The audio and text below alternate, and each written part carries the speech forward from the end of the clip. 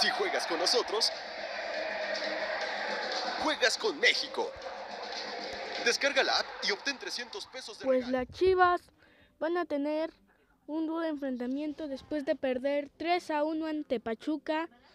Van a enfrentarse a los Rayados de Monterrey, que Monterrey viene de ganar.